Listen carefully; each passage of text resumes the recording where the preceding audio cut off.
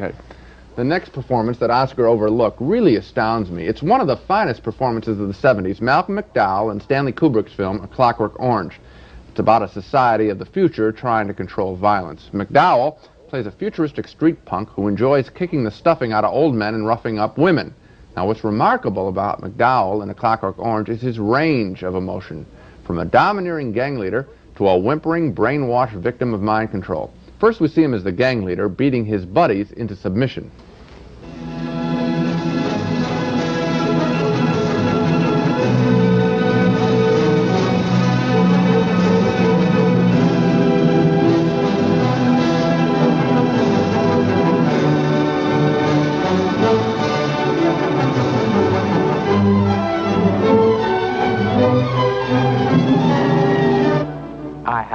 From power demonstrated to power implied. That's what's coming up here now. After slashing his buddies, gang leader McDowell now takes quiet control of his henchmen. Watch McDowell's face here. It almost becomes a menacing death mask. Well, now we're back to where we were. Yes? Just like before and all forgotten? Right, right, right. Right. After some painful brain conditioning, McDowell's personality is transformed.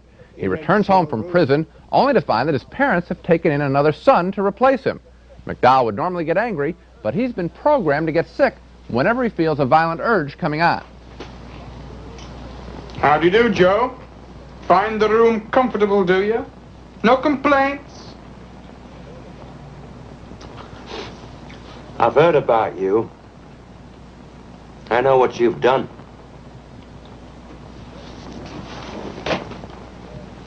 Breaking the hearts of your poor grieving parents. So you're back, eh?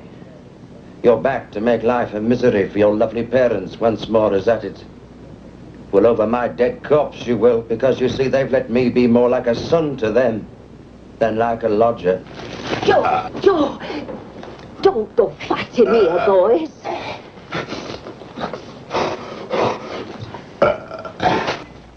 A terrific performance, but I think I know why this performance was ignored by Oscar. In any film by Stanley Kubrick, pictures like 2001 A Space Odyssey, Barry Lyndon, it's the film and Kubrick's direction of it, not the actor, that mm -hmm. is the star. Mm -hmm. McDowell was overshadowed by Kubrick, the director, and Oscar, in the process, ended up ignoring an impressive piece of acting. You know, you're absolutely right, and it's true of critics, too, with a director like Kubrick yes. who controls every aspect of his film totally from beginning to end. We say, Stanley Kubrick's 2001. Think quick, who starred in it?